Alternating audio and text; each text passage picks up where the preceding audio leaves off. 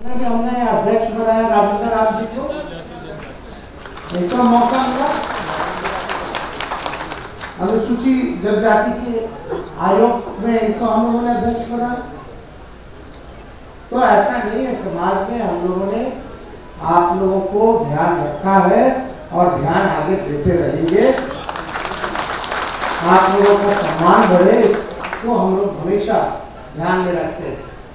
तो ज़्यादा कुछ हम ना कहते हुए आप सब लोगों को बधाई देते हैं। कई हमारे विधायक हैं यहाँ। कई हमारे पूर्व विधायक हैं। कई नेता लोग हैं जिनको बोलना था बोल नहीं पाए। सारा समय हमको दिया है।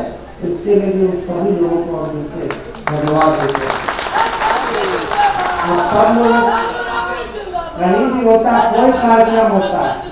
हम अपने लोगों को यही बोलते हैं, जाओ गरीबों के बीच जाओ। जाओ दलितों में जाओ जाओ अति पिछड़ों में जाओ।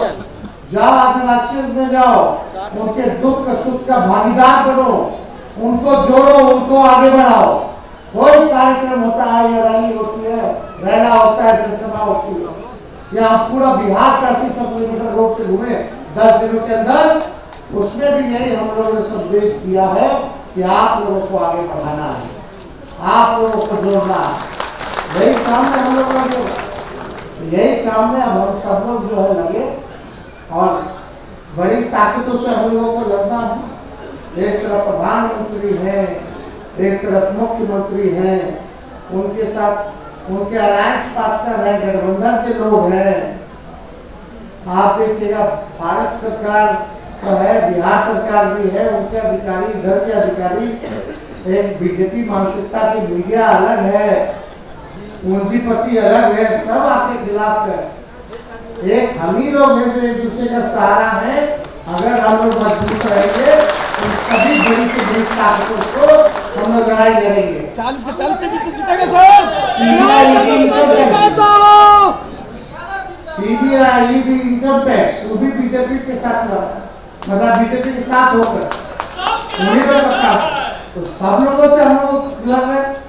तो आप बस इतना ही प्यार भरोसा विश्वास बताइए अपने बेटे और भाई को आशीर्वाद दीजिए।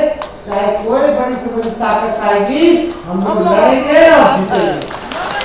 तो ज़्यादा ना कहते हैं? आप सब लोगों का अभिनंदन करते हैं।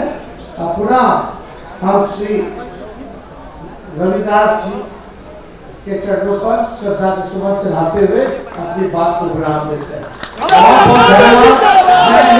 जय